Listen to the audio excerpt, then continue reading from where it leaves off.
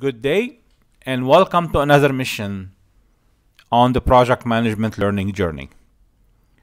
With this mission, we're going to focus on the first stage of the project, which is the concept stage. As you recall from this image, the first phase of the project is the discovery phase, and then the first stage of that phase is the concept stage, which conclude with the stage gate 1 that has to be approved before we go on. Now let's pause here for a second and I'm gonna tell you to stop the video in, in, in one minute. I want you to think about forming an opinion on where is the beginning of a project life cycle in your mind, in your word, in your company. What do you consider the beginning is? Is the beginning the idea of the project or maybe an approved idea? Or is it after conducting some kind of a feasibility study and management authorizes the project to proceed? Now remember, these gates, each of these gates is kind of authorization, but again, the question here, is it more on the beginning or the end of this first phase? Obviously, what you can see here is that our view is that the project start with an idea and the first thing we do is a concept stage. This is one approach that we believe in in SUKAD and this is why we designed it as part of the CAMMP methodological approach.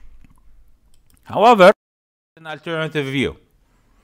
And this alternative view that is often documented in ISO 21500 and the PMBOK guide that is produced by the Project Management Institute, which says the following. This first phase of a project that I am calling a phase, they don't call it a phase, they call it pre-project. So basically what they're telling us is this early work is not part of the project lifecycle. Let's be careful here. They're not saying it's not part of the project, but it's not part of the project life cycle. Now, what does that mean? Well, the assumption here or the understanding that is the project life cycle is managed by a project manager. So what PMI and ISO are telling us that part, the first part of the project, pre-authorization or what they use the term charter, pre-charter, it is not under the responsibility of the project manager and project management function within the organization. Now that's often true. We don't argue with that. Often project discovery phases are done by the business owner, maybe the end user, a function, a department, strategic planning, whoever it is. Yeah. So yes, project management, if there is a project management function within the organization or a project manager, they may not be accountable for that part. Although today there are a lot of debate and discussion on this, which we will discuss maybe in another time. So the SUKAD view is that obviously different than PMI and ISO. And what we say, and forgive me for reading here, we say even though an organizational unit other than project management might be leading the business case and feasibility, we still think at the phase of the project. It is part of the project life cycle. That's the view we have. And because it's a phase of the project, Therefore, it has to be managed like any other phase, which mean it has to be managed following the steps that we discuss if it is a large project such as the authorized plan, management plan detail, implement, and the rest of the stuff. Now, should it be managed by a project manager? We say yes. Basically, our view is that as soon as the idea is approved at stage gate one, the organization must appoint two people, project sponsor and a project manager. In the first quest, we discussed the different roles and what does this project sponsor or business owner mean or project owner and what's a project manager and the roles and responsibility for each of those people. So please, you can refer back to the previous quest uh, or Uh, another quest that we have developed that under the name of starting the project management journey for information about that. So in our view, it's yes, a project manager should manage this phase. So what is the concept stage then? As the concept stage in our word is that basically every venture start with an idea. And we produce a document called the project brief, which should be brief and action oriented. It should describe the project idea, which mean what, with the clear purpose why, and how does it align to the strategic direction. And in our word, this is what we call the business case. Sometimes people debate and what is the source of the idea. Well, let's start maybe with a high level view in organizations that subscribe to strategic planning. So these are organizations who would develop and formulate a strategic plan and believe in the use of project and program management concept and principle to implement those strategic plan. The most ideas on organiza- in organization should be identified from the strategic plan, goals, initiative, and program, and cascade down from a strategic initiative to a program, and the program could be divided into sub projects, or basically there could be some projects that are linked directly to the strategic plan. Alter alternatively, organization could have an idea management system to encourage their people, their staff, to come up with creative ideas uh, to help improve the business and as a, as a part of maybe an innovation program or an idea management system or whatever organization preferences are. So we say ideas should come from strategic plan, but they could come from the line from the staff. However, even when it comes from the staff, it has to align to an organizational strategic goal. So basically what we are saying is the following. The project brief should include a short description. And when we say short, we mean one or two sentences. Now, of course, you know, if you really feel the need to go further, go for it. But keep it brief, as brief as you can. Because remember, you are not designing the project or you're not going to go implement the project after this stage. You are just trying to clarify what this project is all about in order to get management to approve you at gate one, just to go to the next step. And then with gate two, you go to the next step. This is the intention of the stage gate process to take it one step at a time. So this is why we say at this at this stage, the project brief could be very, very, very brief. One or two sentences are satisfactory often enough, of course, if the organization accept these principles. So the short description should cover what will the project give you at the organization when it's complete. So think with the begin with the end in mind. Once you're done, when you are finished with your project, what would you give your management and the organization? Are you going to give them a building, a software, a study, um, whatever it is? So focus on the output, the output that you are going to produce. Then the next part of the project brief should be why are you doing this project? What are the justification or business need? What's triggering this project? Why do you think it should be done? Again, it could be one or two sentences, no more.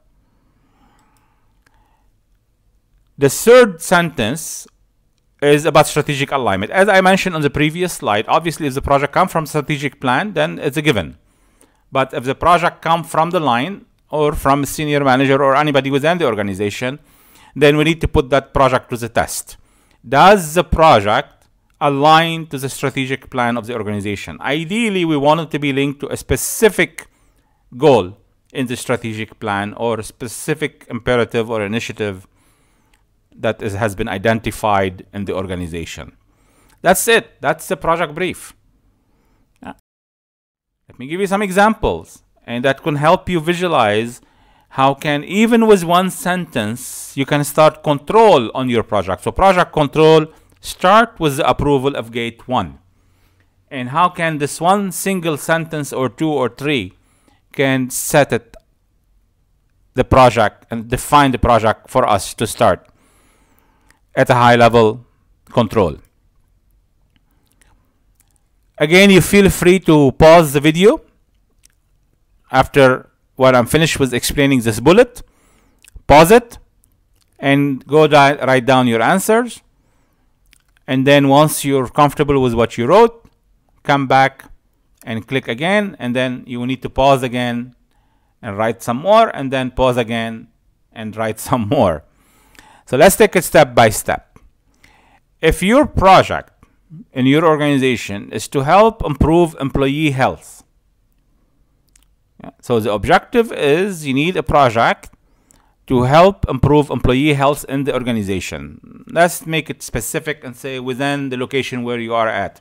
So assuming you might have a global organization with multiple offices, let's just focus only on where where you work, the, the location that you are in.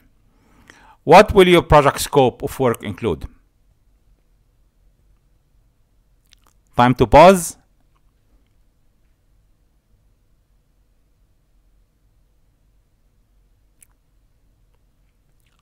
Again, if you were not clear, and you might need to pause again, what will your project scope of work include? What does it mean is that what are the things that you will do in the project to deliver to that objective?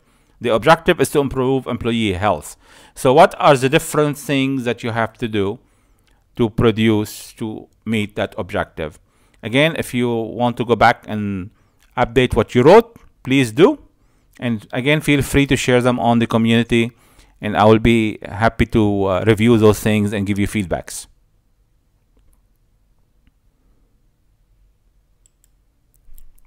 The next step, let's say management, instead of telling you improve employee health, notice it's just one sentence.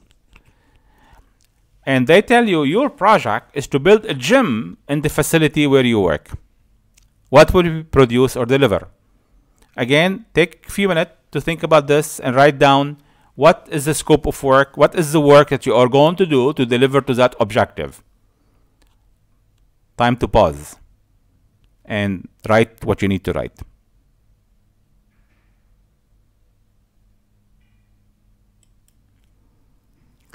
Next, I'm gonna basically give you a twist on this and said your management actually told you or is asking you to improve employee health. So your project is to improve employee health and build a gym. How would this project be different from one or two? Okay, time to pause and write down your answer.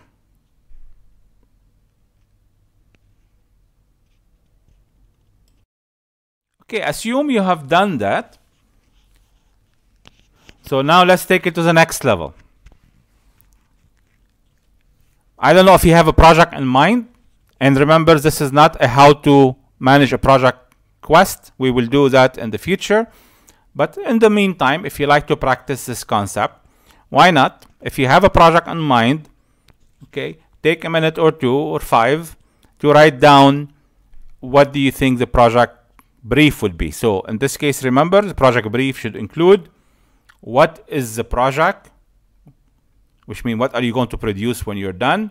Why are you doing it? Justification and of course how does it align to the strategic aspect of the organization of course if it's a personal project maybe how does it relate to your personal mission statement if you have one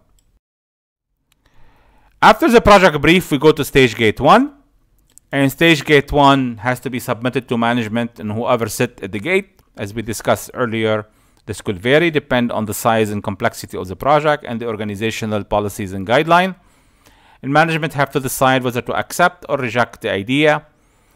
If accepted, then they need to consider another question. Should they pursue it? And of course, if they want to pursue it, because they could, I mean, could be accepted the idea, but they still decide, look, maybe we don't have the time for this now.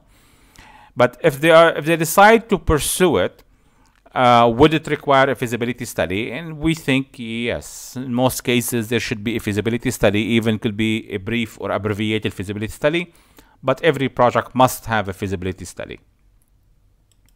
So management will be evaluating the idea based on the strategic alignments and other factor to accept the project. And if the project is approved, we can say thank you. But keep in mind, only the idea is approved and the project still could be cancelled at any point in time at any one of those feature gate. So basically approving the project at gate one, all what it means that management is authorizing the project manager to go to the next stage and develop a feasibility study. Until the next mission, we wish you success today and always.